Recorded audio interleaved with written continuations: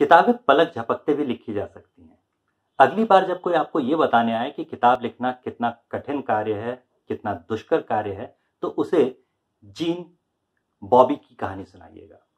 Gene Dominic Bobby एक फ्रांसीसी लेखक और पत्रकार थे, जो समय के साथ आगे बढ़ते रहे और एली नाम की पत्रिका के संपादक के पद तक पहुँच गए।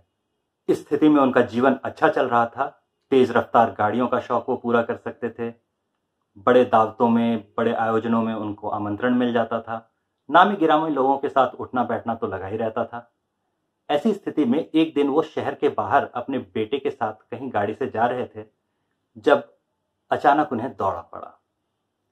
जब 20 दिन बाद उन्हें होश आया तो अस्पताल में उन्होंने खुद को पाया और देखा कि उनका पूरा शरीर लकवाग्रस्त हो चुका है। वो सिर्फ़ अपनी बाई पलक को थोड़ा सा झपका सकते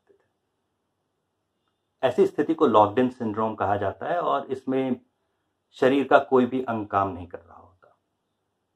हाथ, पाँव, सब कुछ लकवाग्रस्त था। रोज लिखने पढ़ने वाला व्यक्ति कलम उठाना तो छोड़िए, उंगली भी नहीं हिला सकता था।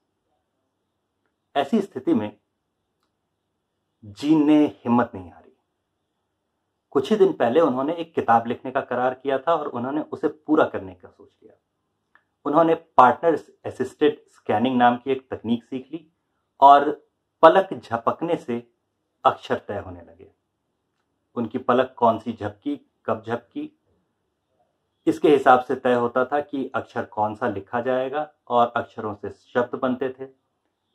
जीन की पलक झपकती रही, शब्द लिखे जाते रहे और इस तरह the driving bell and the butterfly नाम की एक किताब उन्नीस में प्रकाशित हो गई।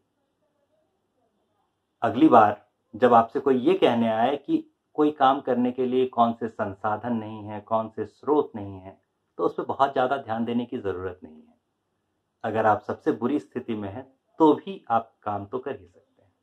उम्मीद है आपका आज का दिन अच्छा गुजरेगा और इस मोटिवेशनल मैसेज के साथ हम आज बिता लेते हैं। धन्यवाद।